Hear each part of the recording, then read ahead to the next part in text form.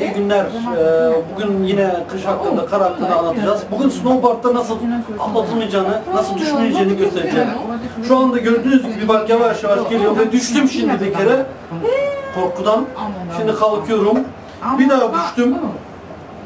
Ama yavaş yavaş kalkıyorum derken sonra bak tam atlayacağım derken korkudan atladım ama çok artist şekilde atladım. Çok fazla geri düştüm. Bu böyle düşülür. Snowboard'da böyle düşünür. Hocam sağ olun, var olun. Dinlediğiniz için beni.